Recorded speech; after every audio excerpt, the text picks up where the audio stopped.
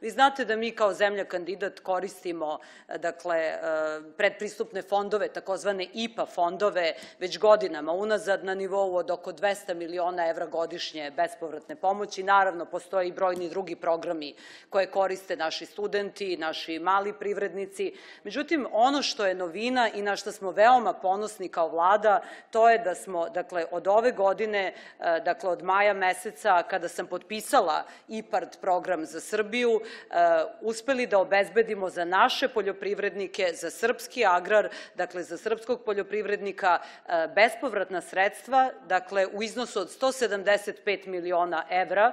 bespovratno do 2020. godine. Znači, u periodu od 2014. do 2020. godine, 175 miliona evra od evropskih fondova, uz naravno budžetsko sufinansiranje na nivou od oko 58 miliona evra, uz naravno učešće samih korisnika, jer je naravno neophodno da i oni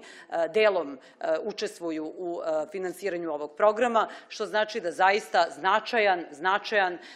iznos novca na nivou od oko 400, između 400 i 500 miliona evra stoji zapravo na raspolaganju našim poljoprivrednicima. Ponavljam, iz evropskih fondova 175 miliona bespovratno. Mnoge vlade pre da kažem, vlada od 2012. i 14. godine, pričala je jednu, ja bih rekla, političku demagogiju i utopiju i svojim nečinjenjem zapravo onemogućile srpskim poljoprivrednicima da nekoliko godina koriste ove fondove. Jeste ovo bila zahtevna, e, vrlo zahtevna procedura, jeste značila e, jačanje kapaciteta, koordiniran rad svih ministarstava znači, koji su uključeni u to, naravno delegaciju Evropske unije, informisanje naših poljoprivrednika, e, pravljanje timova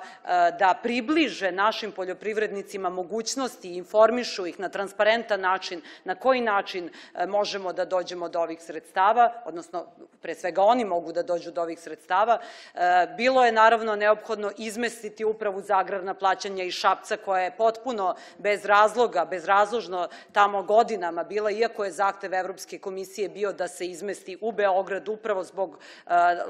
plaćanja uprave za agrarna plaćanja i svega onoga što će uprava tek sa svojim dakle, kapacitetima pojačanim u narednim godinama morati da radi. Dakle, naći prostor za to, kolega Nedimović zna koliko smo se zaista zajednički borili da sve ove uslove ispunimo da bismo došli u poziciju da dobijemo 175 miliona evra za našu poljoprivredu, za naše poljoprivredne proizvođače. Evropsko tržište je zahtevno tržište, treba biti spreman da se sutra izađe na evropsko tržište, treba e, dakle, našu poljoprivredu učiniti konkurentnijom i boljom i zato smo svi ovde i zaista sam veoma zadovoljna da evo posle prvih poziva, a kolega Nedimović će detaljnije naravno upoznati sa celom ovom procedurom, da e, zaista uručimo ta prva rešenja e, koja su, e, čini mi se, pokazala da naši ljudi, naši poljoprivredni proizvođači na registrovanim poljoprivrednim gazdinstvima i tekako mogu da dakle, pripreme i dobre aplikacije, da nađu i sredstva za sufinansiranje, jedan deo će biti sigurno i refundiran i da urade nešto konkretno za dakle, nabavljanje nove opreme, traktora, dakle uopšte zgrada pre svega za skladištenje voća, povrća, žitarica, naravno smeštaj stoke, sve ono što je zaista izuzetno važno svakom poljoprivrednom proizvođaču da unapredi svoju proizvodnju i da bude konkurentniji. Prema tome, e,